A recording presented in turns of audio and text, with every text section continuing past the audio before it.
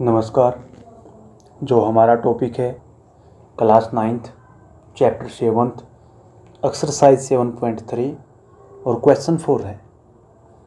और अगर आपको वीडियो अच्छी लगे लाइक कीजिए कमेंट कीजिए चैनल को सब्सक्राइब कीजिए।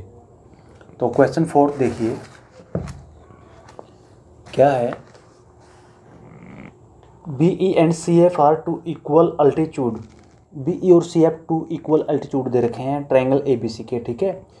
Using R H S rule यानी कि देखो आर एच एस का मतलब क्या है? Right angle hypotenuse side prove that the triangle A B C is isosceles तो कैसे करते हैं देखो?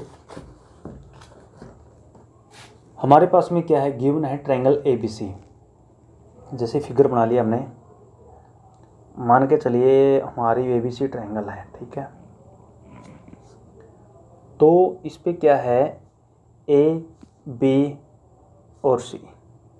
बी, ई और सी, एफ़ टू क्या है? अल्टीट्यूड। यानी कि देखो ये ये इस पे हो गया अल्टीट्यूड, ठीक है? इसका नाम दे दिया ई। e. और एक क्या है? C, F. ठीक है, इसको नाम दे दिया एफ़। और क्या दे रखे हैं? इक्वल दे रखे हैं। तो गिवन में क्या है? B, E, A, B, C triangle है। ठीक है? A B C J triangle और क्या दे रखा है? अल्टीट्यूड दे रखे हैं आपको। अल्टीट्यूड बी ई और सी एफ़ क्या दे रखे हैं? इक्वल दे रखे हैं। ठीक है? अब आपने आइसोसेल्स सिद्ध करना है। देखो आइसोसेल्स शो करना है। तो आप किस तरीके से देखो? टू प्रो में क्या लिखोगे? टू प्रो आइसोसेल्स यानी कि जैसे देखो, हम क्या दिखाएँगे? A B is equal to A C दिखाएँगे। A B is equal to A C अब इसने एक बात बोले कि आप है ना राइट हाइपोटेंस रूल यूज़ करोगे। राइट राइट एंगल हाइपोटेंस और एक साइड ठीक है? तो प्रूफ में क्या करोगे देखो? प्रूफ आप जैसे ये राइट एंगल है, देखो, यहाँ पे है तो हाइपोटेंस इस तरीके से, या ये ट्रायंगल है तो हाइपोटेंस तरीके से। मतलब आपने हाइपोटेंस यूज़ करना है, ठीक है? और आपने राइट एंगल यूज़ करनी है। मान के चलिए क्या कहना है इसका मतलब? इसका मतलब है राइट एंगल यूज़ करनी है। जैसे देखो, मैं कौन सी ट्रैंगल यूज़ करता हूँ? ऐसा क्वेश्चन पीछे भी कर चुके हैं, जब साइड एंगल साइड से हो जाता है। बट इसने बोला कि राइट एंगल हाइपोटेंस यूज़ करना है, ठीक है? तो हम क्या लेते हैं देखो? एक लेते हैं triangle B E B E C ले लेते हैं, ठीक है? और एक हम एक हम ट्रायंगल ले लेते हैं बी ई सी और एक क्या लेते हैं? बी सी एफ़ और मैं क्या कर लेता हूँ? देखो, ये ट्रैंगल होगी मेरी ये वाली और ये ट्रैंगल होगी मेरी ये वाली। मैं जब इनको कॉन्ग्रेंट सीध कर दूँगा तो देखो, इस ट्रैंगल में एंगल बी और इस ट्रैंगल में एंगल सी अगर जब बराबर हो गए तो इनके द्वारा बनाई गई साइड भी क्या होंगी? बराबर होंगी। तो देखो now in triangle B E C and triangle B E C and B C F तो देखिए angle B F C angle B F C angle B F C is equal to angle B E C because of each 90 degree each 90 degree second one क्या है? B E is equal to B is equal to C F क्या दे रखा है? ये भी गी one दे रखा है। इक्वल अल्टीट्यूड ठीक है? अब आप देखिए, इस ट्रायंगल की बात है, देखो। इस ट्रायंगल में आते हैं बी सी कॉमन आ रहा है। जब इस ट्रायंगल में आते हैं, तब भी क्या है? बी सी कॉमन है। तो आपने क्या लिख दिया? B C is equal to C B B C is equal to C B यहाँ क्या लिख देंगे? कॉमन कॉमन एक आपका क्या हो गया? देखो एंगल राइट एंगल हो गया। एक आपका क्या हो गया? हाइपोटेंस और एक side this implies this implies triangle B E C triangle B E C congruent to triangle B C F यानी कि B E C congruent to B F C अगर ये ट्रायंगल कोंग्रेंट होगी तो देखो ये इस ट्रायंगल में कौन सा एंगल बी और इस ट्रायंगल में कौन सा एंगल सी तो बी और सी भी क्या होंगे? बराबर होंगे। देन क्या बोलेंगे? देखो, अगर ट्रायंगल कोंग्रेंट होगी देर फोर क्या बोलेंगे? Therefore angle B is equal to angle C यहाँ क्या लिख देंगे? बाई सिपिसिटी बाई सिपिसिटी अगर एंगल बी और सी बराबर होगी ना तो इसका मतलब क्या होगा? देखो, इसका मतलब ए बी और ए सी भी क्या होंगे? This implies A B equal to A C क्या लिख देंगे? Opposite side opposite sides to equal angle equal angle inter angle ठीक है? Opposite side to equal angle in any triangle और हैंस प्रूव्ड यही हमने क्या करना था? प्रूव करना था। Therefore triangle A B C is isosceles is isosceles ठीक है? हैंस प्रूव्ड जो नेक्स्ट सम है नेक्स्ट सम देखिए।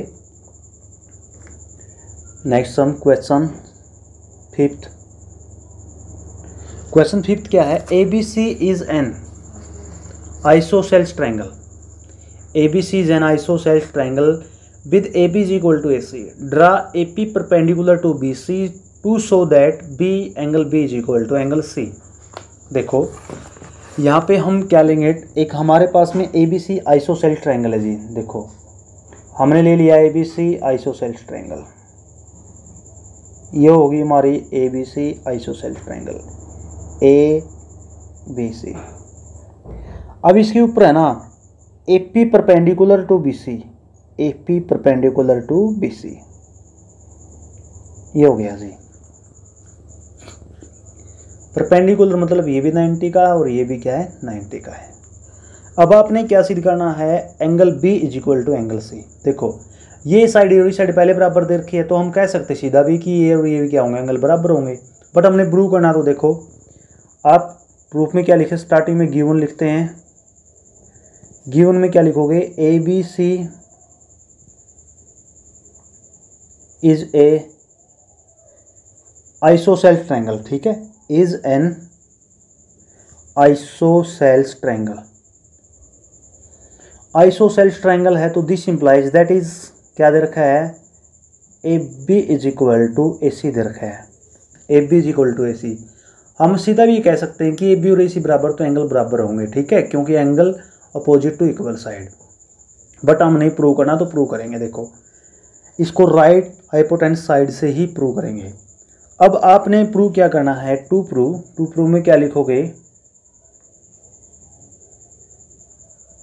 To prove angle B is equal to angle C angle B और सी को क्या सिद्ध करना है? इक्वल सिद्ध करना है। तो देखो प्रूफ क्या लिखोगे? In triangle in triangle A B P A B P and triangle A P C A P C देखो in triangle A B P and A P C triangle A P C देखो। Starting में क्या लिखोगे?